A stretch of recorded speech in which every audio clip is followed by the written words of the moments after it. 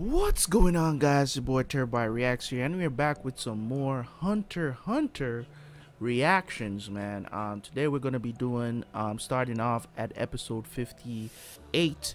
Last three episodes I did was really good man. These Nen abilities are off the chain, no pun intended.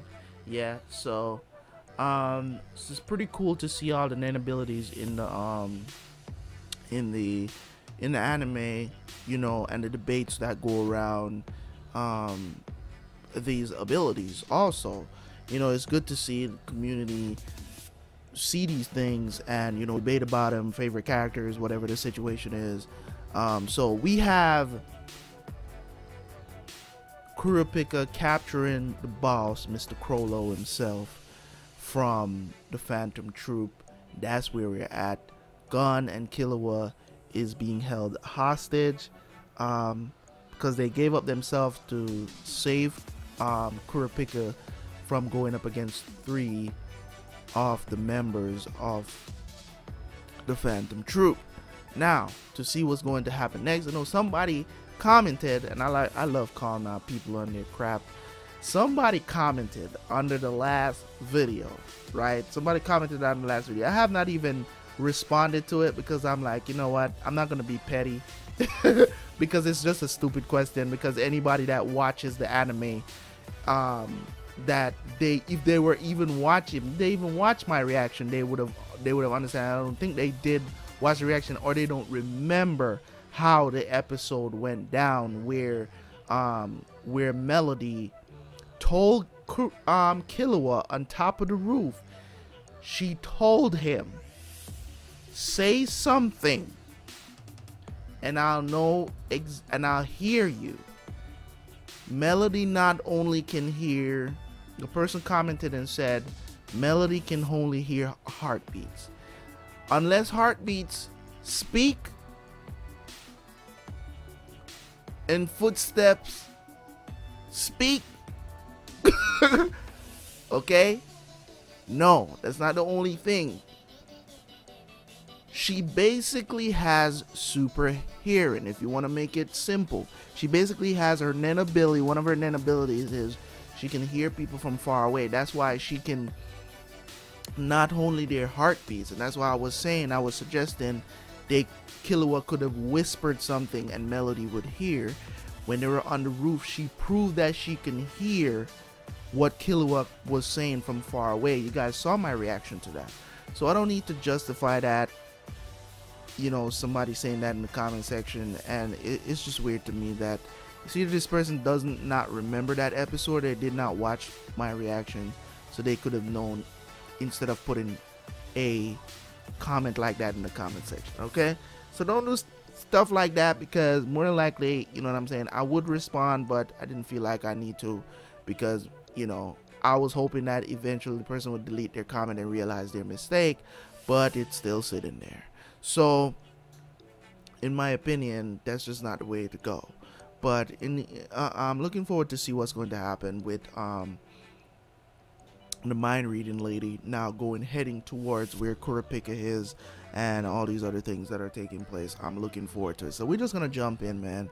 Um, I don't want to spend too much time on the intro. If you want to know what happened in the last episodes, go watch the last reaction. Okay, so let's jump into this, and I will see you guys here back for the review.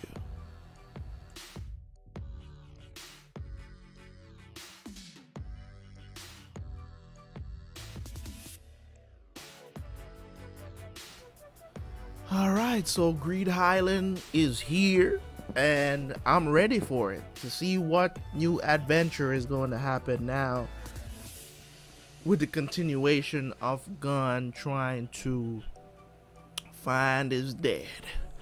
Okay, so we're gonna get to see how that happens. If he's gonna find his dad in the game, that's yet to be seen. I think I think what Ging is trying to do is to train um train Gon. I think in in all the scenarios, I think that's what he's trying to do. You know, I think he's trying to train him. I think everything that he's putting him through, leaving him these clues to go to this, do that, do this, do that. I think it's all training for Gon to see if his son is probably as strong as he has, or he wants him to be to be worthy. You know what I'm saying? Worthy of meeting him. Though I'm a deadbeat. you know what I'm saying? For leaving his son at home like that. But it's a pretty dope story though. Like I like the concept behind him going through all of this just to meet his dad, just to find his dad, and him having such a such a good outlook on it you know what I'm saying? Like he's not hating on his dad or anything like that and be like, oh, when I see him, I'm gonna kill him for leaving me for all these years. No, it's nothing like that. You know what I'm saying? Like he's very optimistic about meeting his dad, and he's like, man, being a hunter is must be so cool that he would give up his son to become to do things as a hunter. Um, not something that we all would agree with would necessarily agree with but hey it's the story they're telling and i'd say it's it's interesting okay so everybody um is gone in separate ways i mean in the first episode we got the conclusion um in episode 58 we got the conclusion of what what went down between um, the Phantom Troupe and Kurapika, right? So we lost Paku uh, Pakunoda, um, the girl, because she sacrificed her life to give them, to give the rest of the troop members the knowledge, right? To give them the knowledge of what what happened, and um, because Kurapika had already used his judgment chain on both her and the boss, so he can't use Nen anymore. I had forgotten about that rule that once he uses judgment chain, you they can't use Nen anymore, and if they try to use Nen, it's instant death. So, um, if you you use Nen, it's instant death. So if they break that rule, they die, right? So those were the rules that he set on the Judgment Chain. So it was pretty dope to see how it concluded with them not having any hostility towards um, Killua and Killua and Gon also because that was resolute telling them that Paku wanted to thank them and you know both of them and as I said man Killua has changed so much and he said it again in, in in one of the episodes again where he said I'm not an assassin anymore I'm a hunter well he's a hunter not a licensed hunter but he's a hunter nonetheless. I think at some point he's gonna go back and do that exam because at some point, you know what I'm saying? Like I feel like he should go back. That's how I feel. I feel like he should go back and do the hunter exam because that way would make him just as legit as Gon, even though Killua is legit in his own right, being a part of the family that he's a part of, he is famous without being famous. You know what I'm saying? Infamous, if you will. So I love the concept, the, the the story that they're trying to tell. Um, to coming up to the end there with the Phantom Troupe now having they're going to be in the game. Um, how many of them is going to be in the game? I don't know, but we we know that the blonde here dude was he blonde? The dude that be taking people's head off. That's always upset about everything, right? He's gonna be right? He's gonna be um in the game.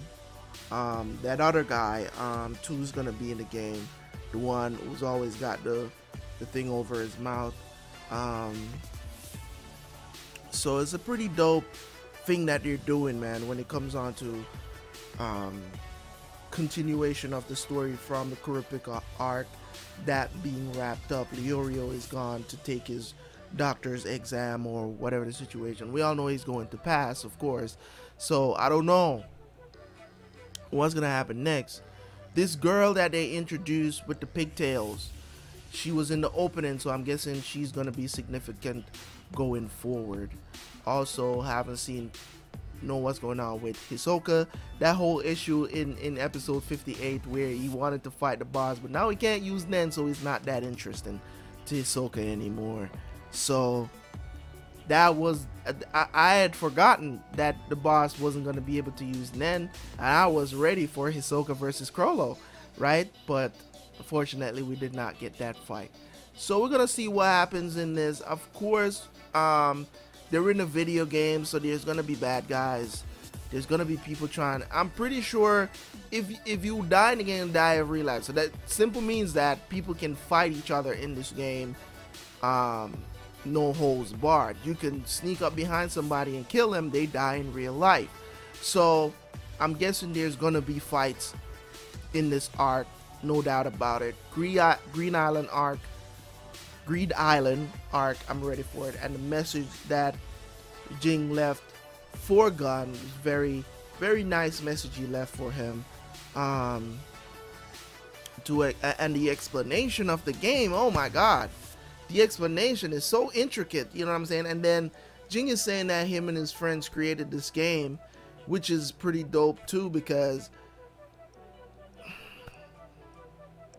and then that that guy that bought up all the, all the all the stations he must have spent he spent a fortune bro on on these um joy stations or whatever you call them the game um the greed island games man them things are expensive anarchy he ended up couldn't afford it because i think 25 billion was his budget anything above that he couldn't afford.